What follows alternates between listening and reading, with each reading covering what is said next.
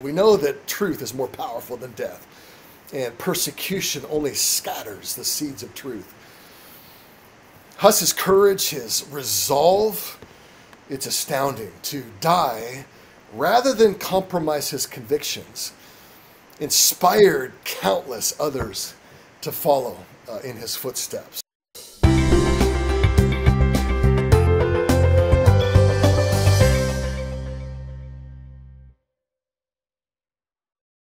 Well, we welcome you today to this very, very special uh, series of podcasts with Dr. Jason Hubbard, Presbyterian minister who's based in Whatcom County, about what 100 k's north of Seattle, uh, 60, 60 miles north of Seattle, not too far from the Canadian border, in the uh, north western corner of the USA.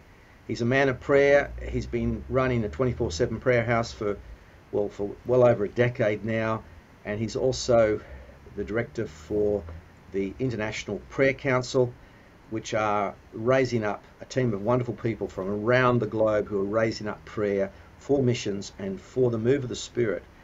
And both of us share a very deep love for the Moravians. So Jason is going to write a book yes, he's going to write a book, and he's using these podcasts as a, as a foundation for that book, as an insight into the Moravians. And the book is called The Moravians A Hundred Year Prayer Meeting That Changed the World.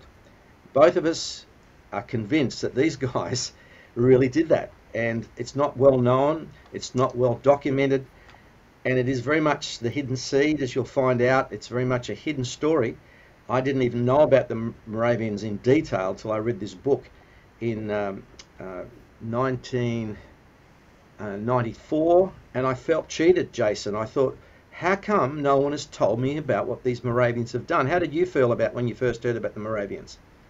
Oh yeah, I was so inspired.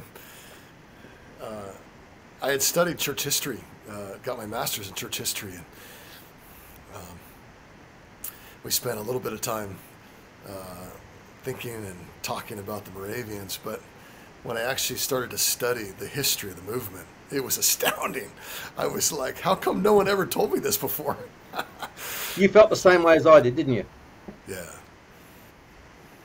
Yeah, for sure. Well, why hadn't why hadn't they told us? Can you tell me why don't more people know about the Moravians? I think, by the way, the word is getting out. I, there's a lot more books about them in the last 20, 25 years. But the book that I read was like 30 years old, and at the time I couldn't find very much else about them. Is that right? Am I wrong? Sure. Yeah, I think that's correct. Uh, there hasn't been a lot written, not a lot of scholarship. I mean, I think you know with the Reformation time frame, the Counter Reformation, this story kind of got, um, I don't know, buried. It just kind of bypassed over. I think part of it, though, too, is that they were such a hidden community and, and humble community that that's part of their story. What makes it so fascinating to me is that God uses simple people uh, to do an astounding work. So I think it's the Lord's timing to really uncover so much of what they've done.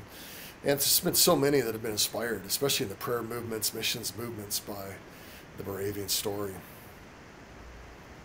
Look, I know we're going to go into detail a bit later on, but let's just talk about in this introduction, uh, you know, the overall impact of the Moravians um, and the timeline, you know, off from what you, the way you see read the play. Okay. Yeah. Well, it's just an amazing story. Uh, this story of Count Zinzendorf, the Moravians. I think it's one of the, truly one of the greatest in church history where God used these humble, simple believers to launch the first Protestant 24 7 prayer with worship movements and the first Protestant missionary movements, taking the gospel to the ends of the earth.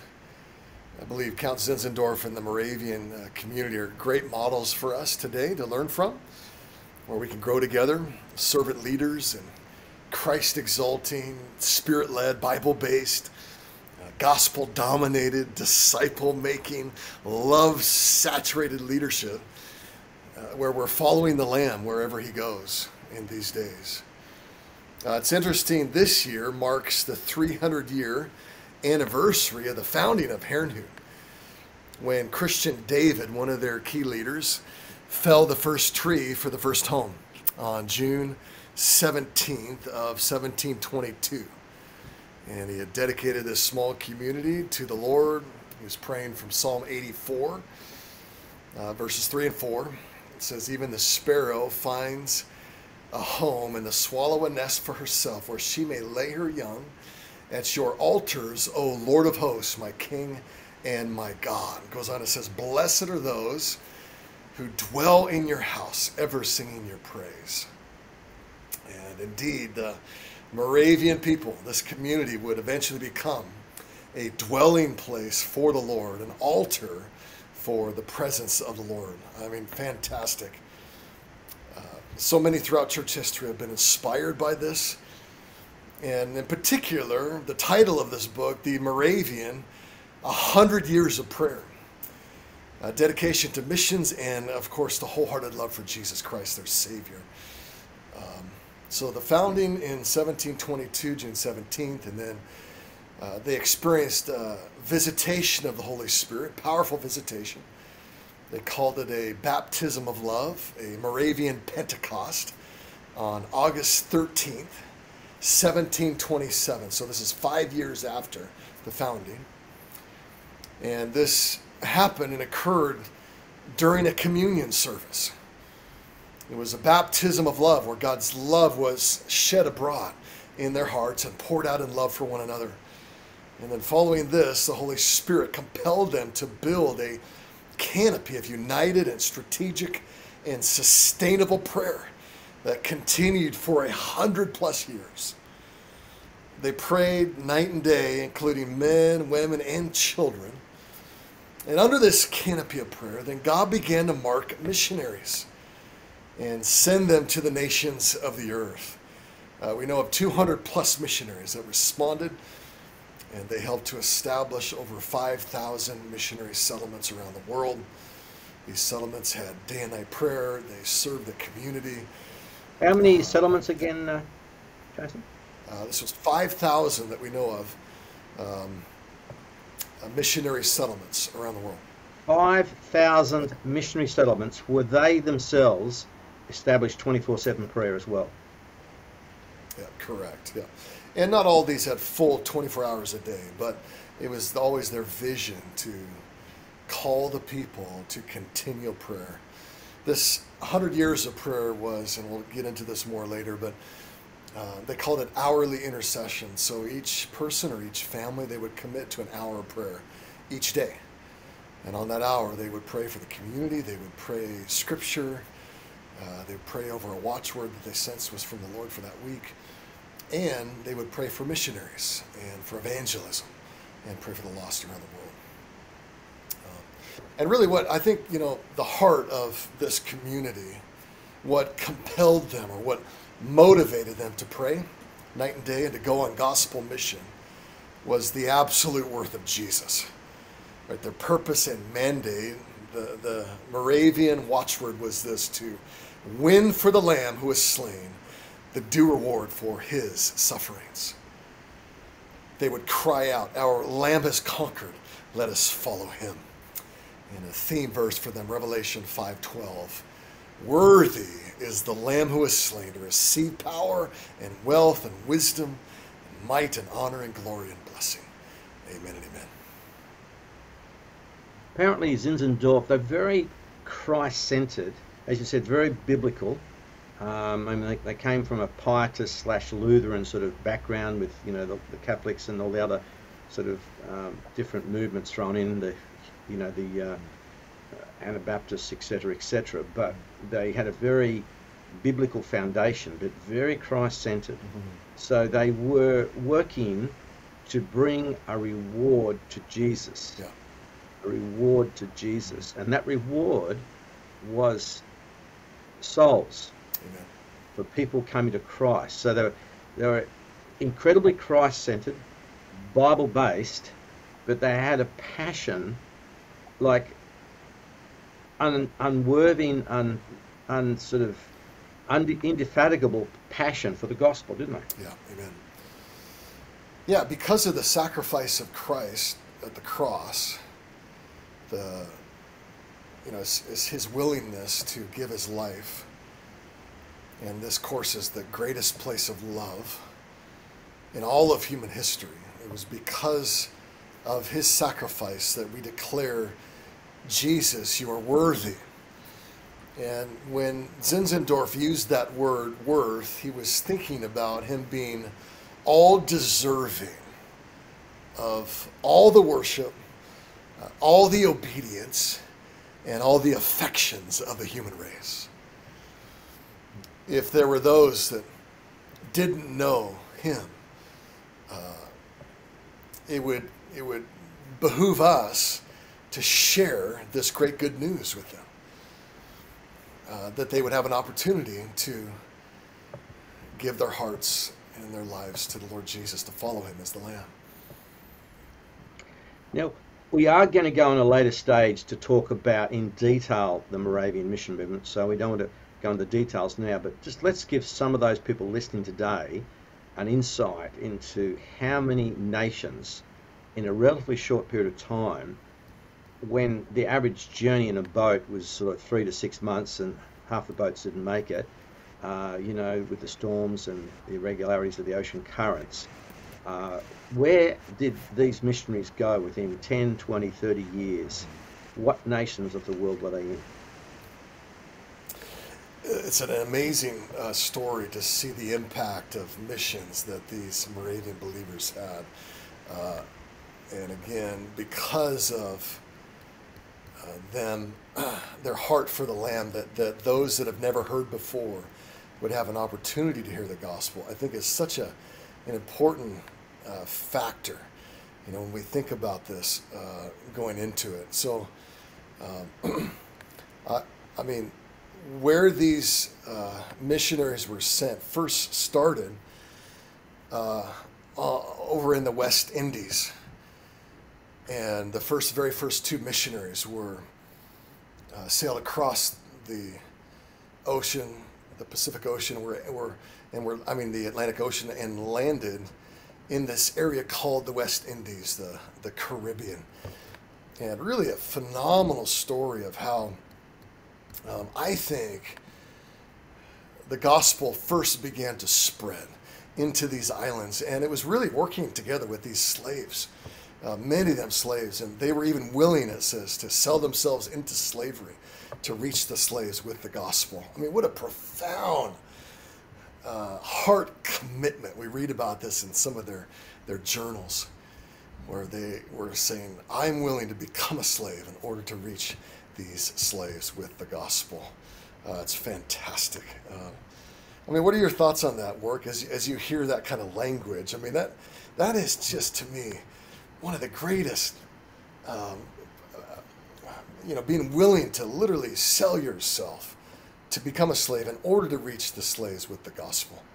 well, you know, what you've got to understand, Jason, and many of our listeners don't, I think you and I have some sort of grasp of this, but you know, we, we're not, you can't, we're not talking about the culture of the 21st century. We're talking about the 1700s when slaves were expendable and everybody believed, I mean, but everybody, except very, some very devout Christians who thought this is wrong, we have to stand against it. Unfortunately, many Christians actually believed the slave trade was a necessary evil.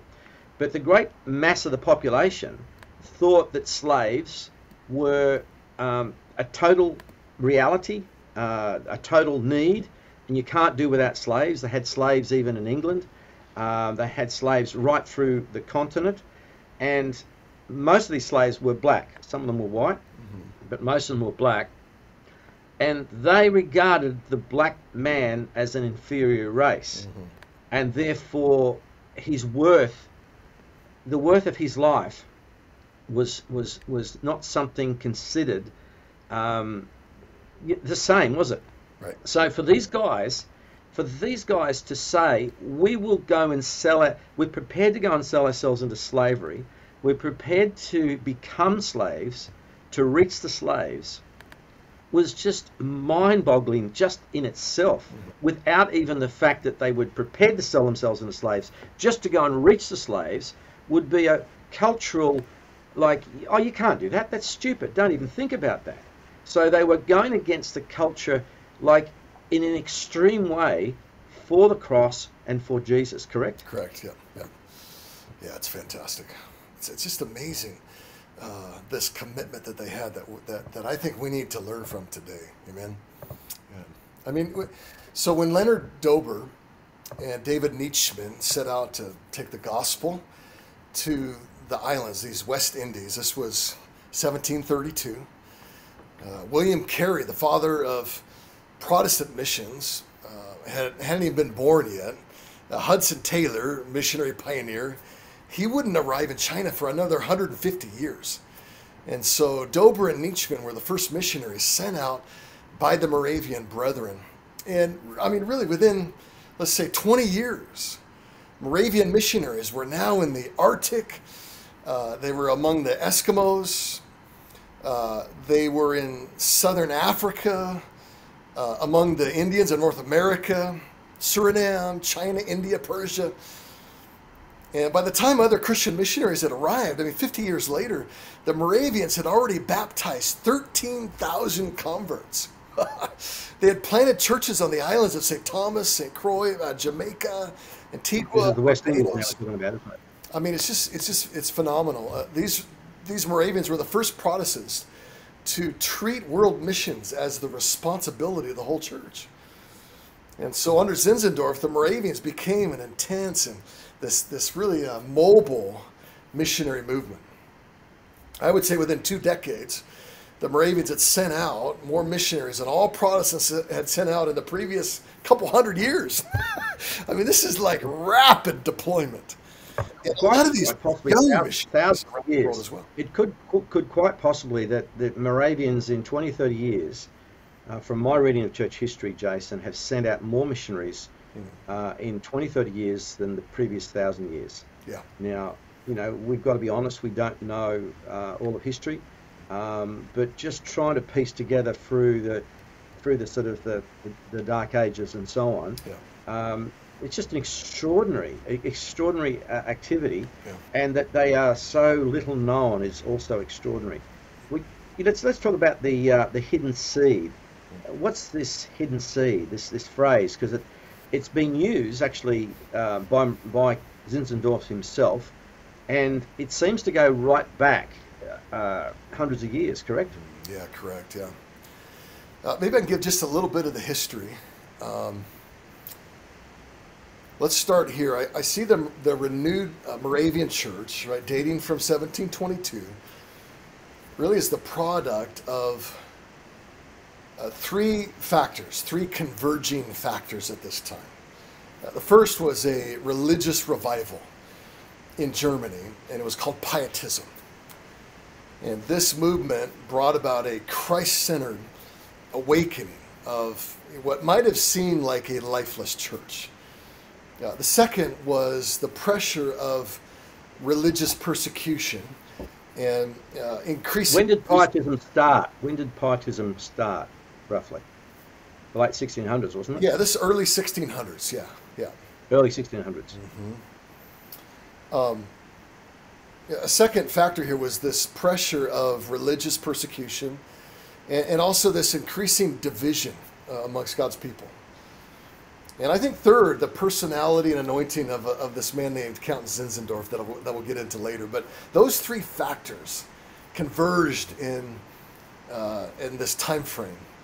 And the new churches that were arising out of the Reformation had done so much to improve the religious life of Europe.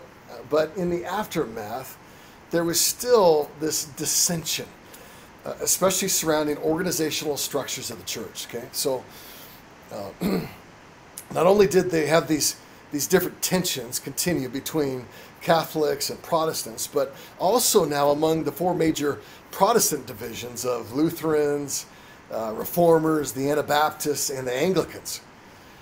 And uh, this, this created this climate and environment of, of division.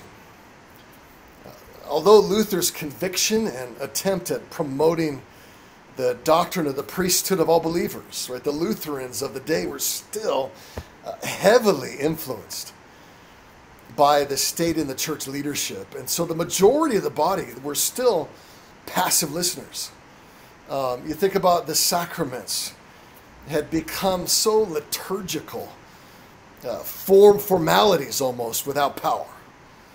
Uh, you think about the 30 years war that brought this massive devastation to the cross of Christ in, the in the 1600s. But in the midst of this environment, there was this revival that burst forth, and again, as it came forth in this form of pietism.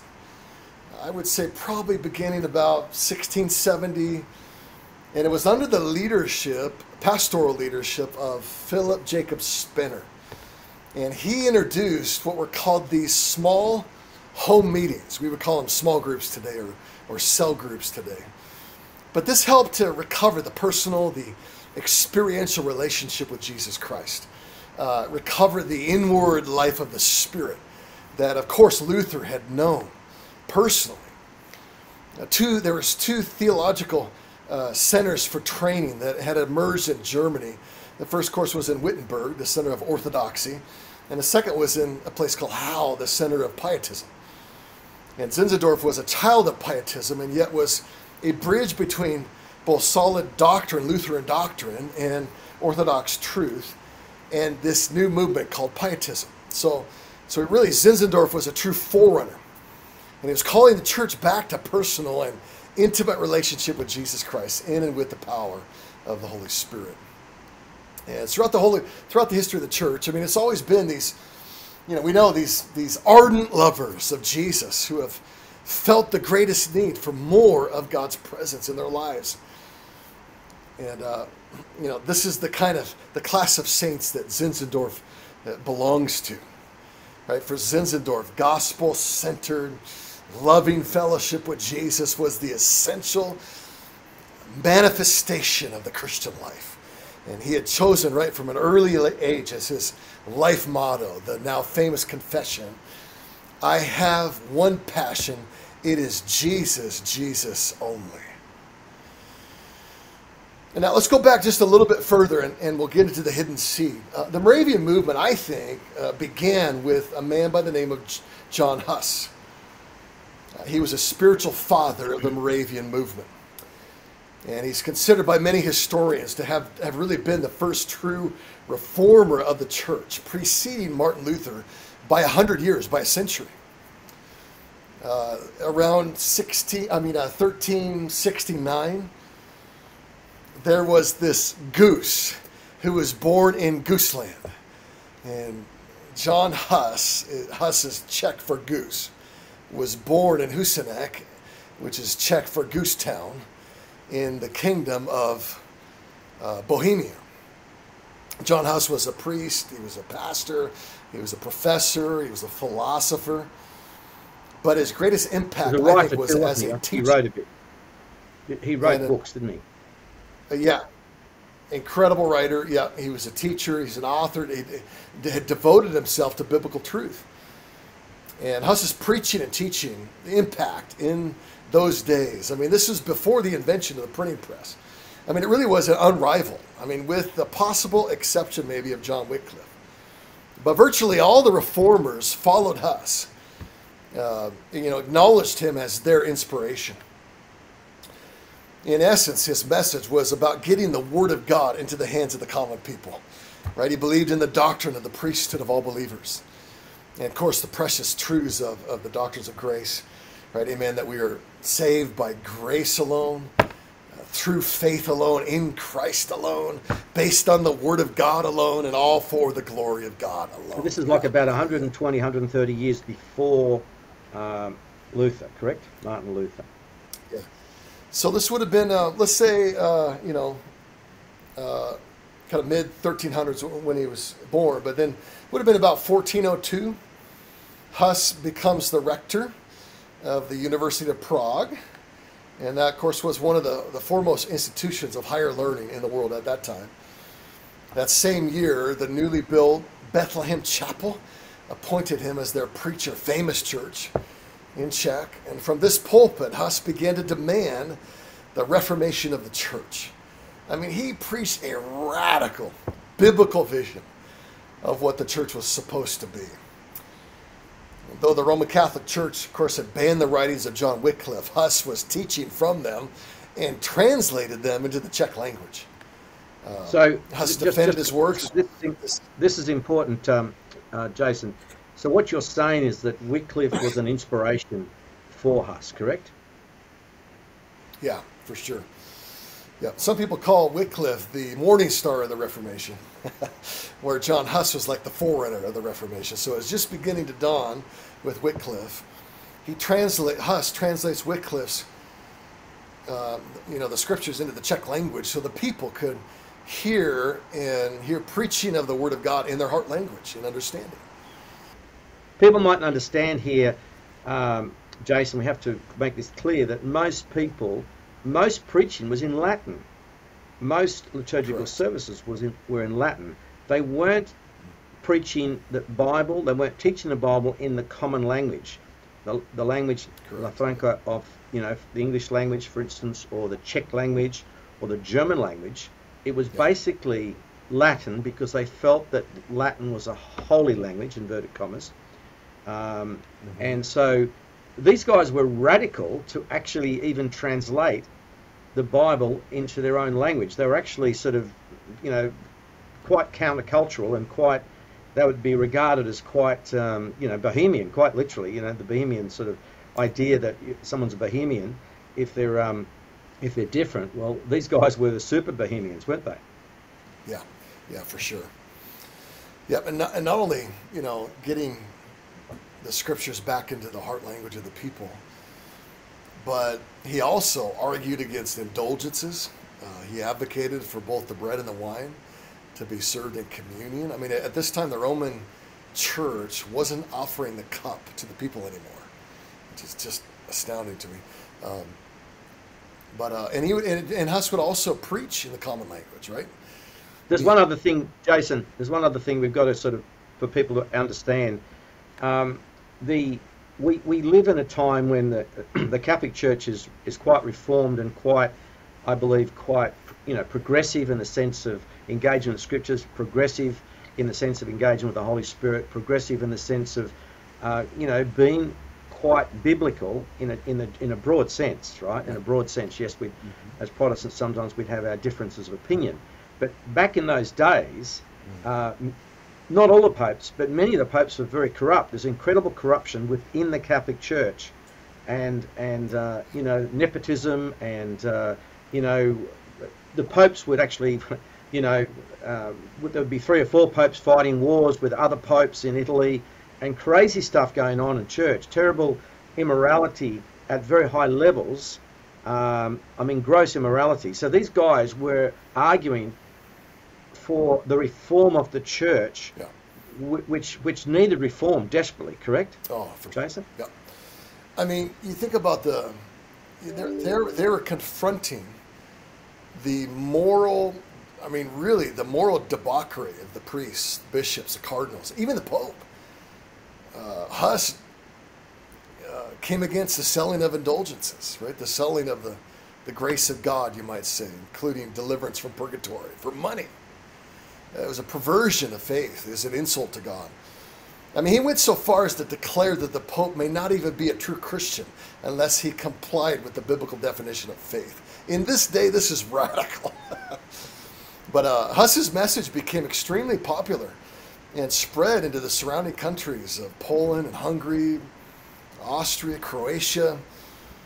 Uh, but there was this growing schism between those demanding reformation and the church authorities. Right? The church was demanding that Huss appear then before the Council of Constance. And because his intent, really Huss's intent, which is noble, was to reform the church, not divide it, he agreed to, yeah. it, to, to attend this council. And the king at that time guaranteed safe passage and return to and from the council. But it was at the council in 1514 that Huss was declared a heretic and he was burned at the stake. Right, the price for at this at this time in this day, the price for challenging the Roman Church. Um, there's an amazing story actually with this. I'll just share it real quick. Uh, before the flames took his life, Huss actually prophesied that the message of liberty and spiritual reform would not die.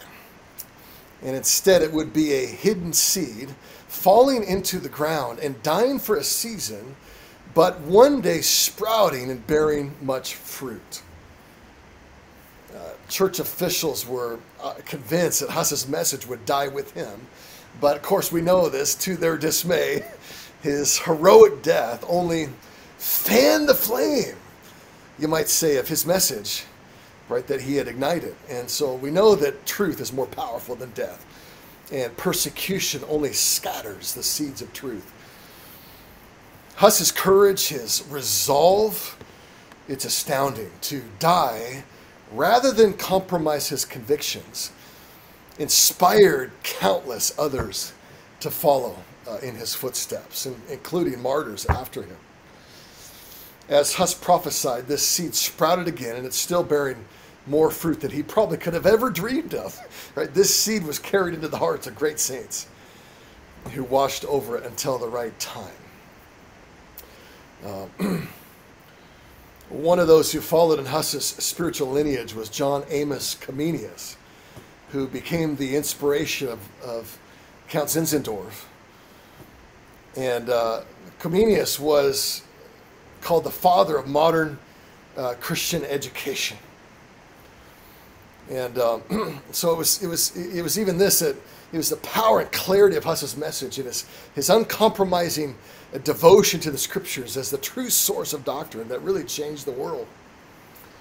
Um, you know, one other just amazing uh, fact that happened at Huss's death.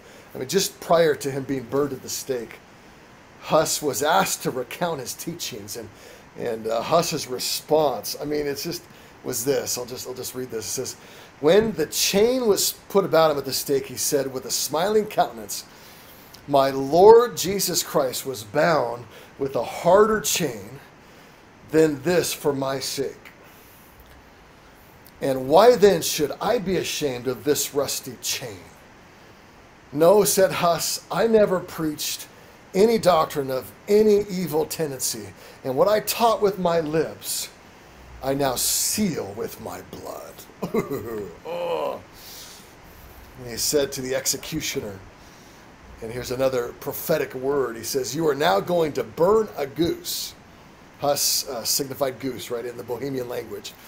But in a century, you will have a swan which you can neither roast nor boil.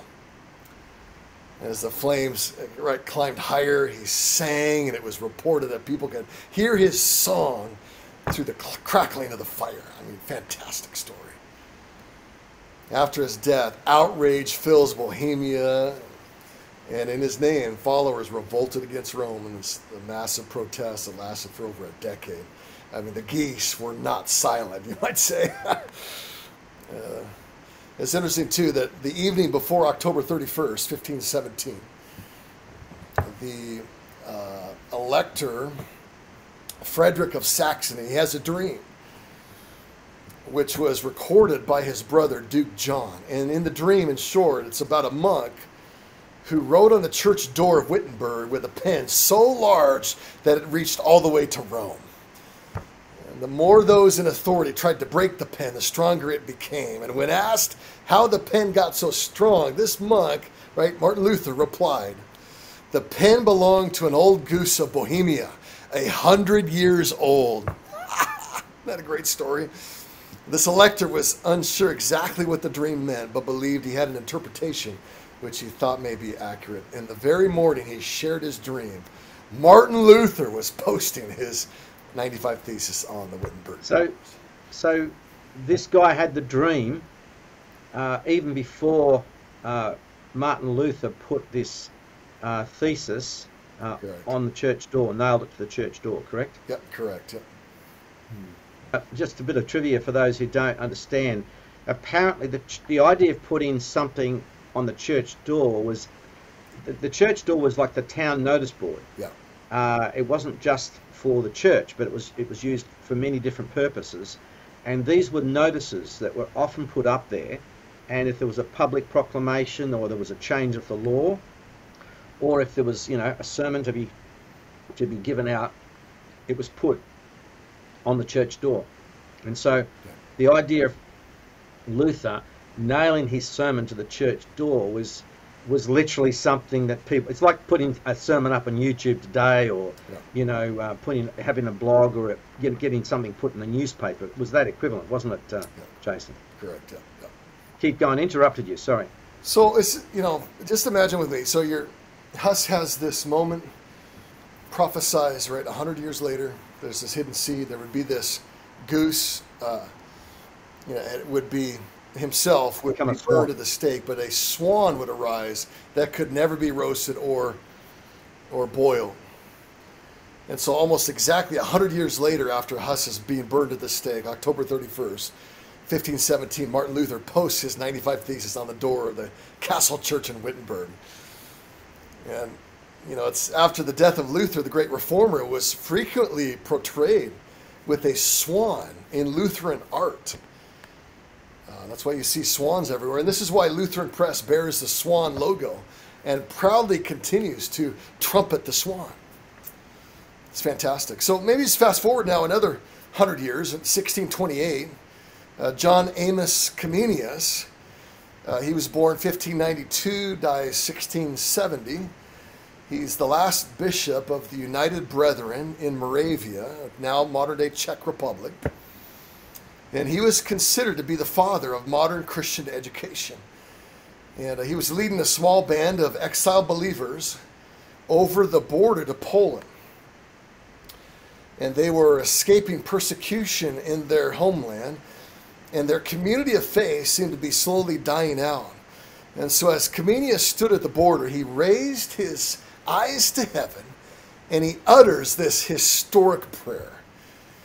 He prays that God would preserve a remnant, a hidden seed. Again, he calls it a hidden seed, which would one day spring up and grow into a great tree for the glory of God. So this hidden seed indeed springs up uh, 50 years after Comenius' death, when this remnant from the United Brethren crossed the border into Germany, 1722, and establishes the Moravian community of Herrnhut. So, under the leadership of Count Zinzendorf, what uh, that community became and what it carried continues to affect the prayer and the missions and the discipleship movements around the world today. I mean, out of that one prayer of John Comenius came this massive multiplication of blessing.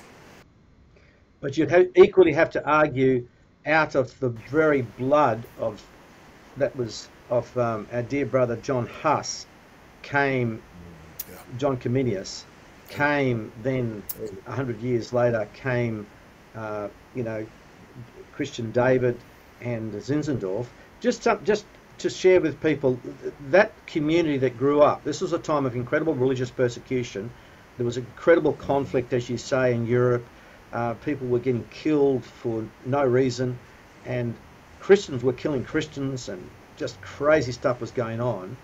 Um, who were some of the groups that gathered? There was a very eclectic, uh, uh, you know, the, the people that gathered at that particular, uh, around that settlement in 1727 that, that David, you know, knocked down the first tree on the 17th of June, uh, 1727, or 1722, get it right, Warwick.